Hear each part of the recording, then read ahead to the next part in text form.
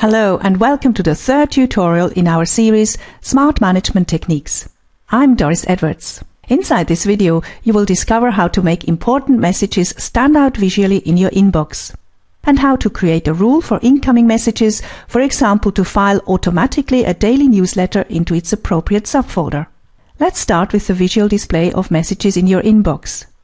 In our example here, I'd like to make the Win Info update emails appear in red as soon as they arrive in the inbox.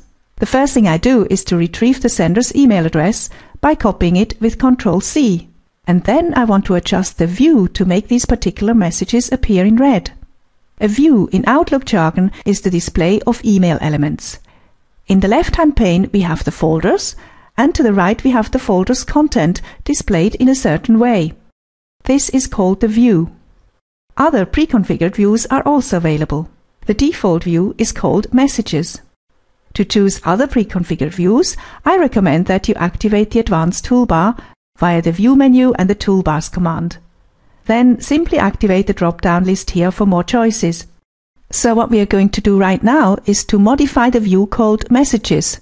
I do this by selecting Current View and the Define Views command in the View menu.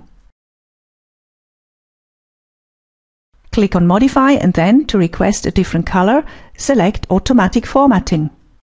Push the Add button to create a new rule, and I give a name as is usual in these cases.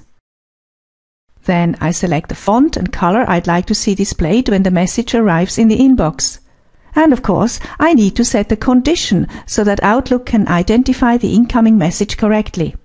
I do this by pressing the condition button and by pasting the previously copied email address into the From field.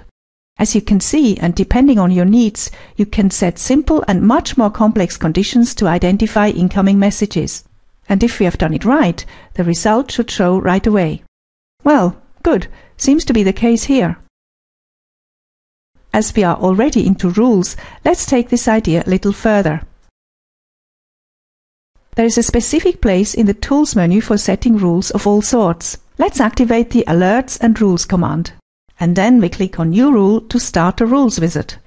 There are many predefined rules to pick from, but I prefer creating my rules from scratch. So let's move to the Start from a blank rule section. Rules may be applied to incoming or outgoing messages. Bear this in mind. It opens great opportunities. Let's go for incoming messages this time. The next steps are really quite straightforward. We just need to know what we want. Click on Next to move into step 1 of the Rules Wizard. Which condition do I want to check? Well, I want to do something to incoming messages that come from certain people. And obviously we have to specify who these people are. We do this in step 2 here below. Select the name or paste the email address straight into the From field and then go on to the next step. Again, quite straightforward. Now, what do we want to do with this message? We give the instructions down here in step 2.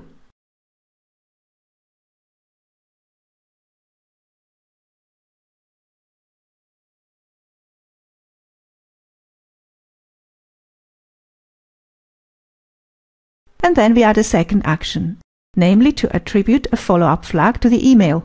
This is important so that we don't forget messages once they have been filed away automatically. Please remember this, it's a great feature.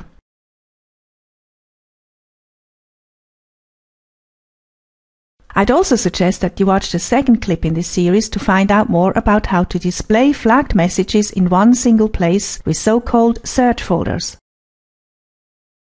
As you can see, many actions may be added at once. The third action will tell us whenever a WinInfo update message arrives.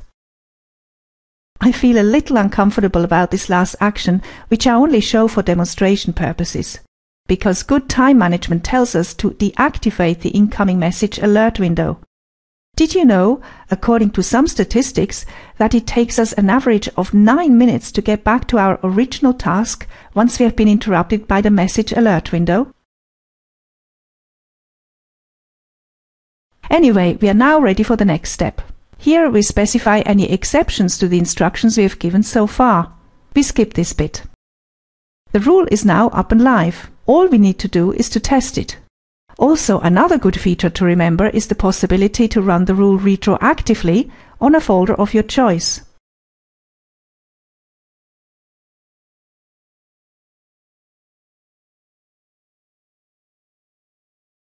Well, seems to have worked for us.